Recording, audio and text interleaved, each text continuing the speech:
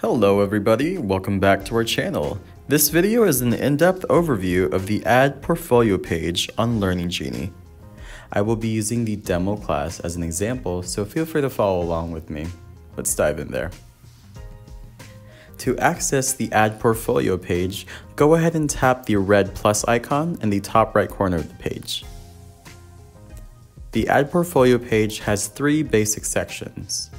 You have your text, you have your tags, also known as your measures, and you have your children. Those are the three basic requirements to create an observation. However, this page does have a lot more tricks up its sleeve. Let's go over them one by one together. Let's direct our focus towards the top right corner of this page. One is the draft icon, and then one is the blue check mark. The draft icon allows you to save your observations as a draft. The blue check mark allows you to publish your observations right away. Now let's take a look at the green Hold to Talk button towards the left hand side of the page.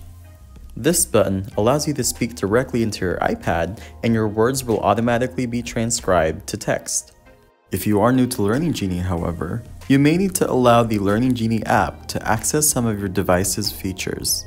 In this case, this button will be using the microphone, along with the speech recognition software to provide the transcriptions. Let's go ahead and try this button out. We love Learning Genie! Exclamation point. Perfect. Now let's take a look towards the right hand side of this page you should see four colorful icons. The teal icon accesses your camera roll, so you can upload photos and videos that you have previously taken. The yellow icon accesses your camera and allows you to take a photo directly on Learning Genie. The red icon accesses your camera as well and allows you to record a video directly on Learning Genie.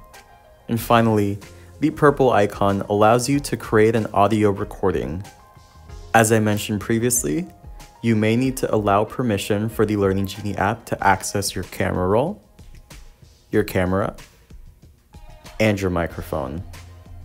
If those permissions have been denied, you will not be able to use these features. Here at Learning Genie, we value your security. We do not record or store any information. Now let's take a look at the reference button towards the bottom left-hand section of your screen.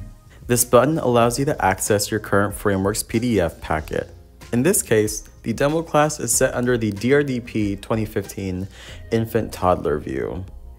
If for any reason you need to refer to your framework packet, you can do so here. Right next to the reference button, you have the Update Entry Date button. This button allows you to backdate an observation if need be. Go ahead and tap on it and select the date you wish to backdate the post to, and then hit Done. Please keep in mind that you cannot feature date posts. Right next to the Backdate button, you have the Share and Engagement button. This particular button will only appear if your agency has the Family Engagement module. This allows you to simultaneously share your observations with your children's parents. Lastly, right above the Share and Engagement button is a tiny checkbox. Tapping this checkbox will select each child in your classroom to tag them in this observation.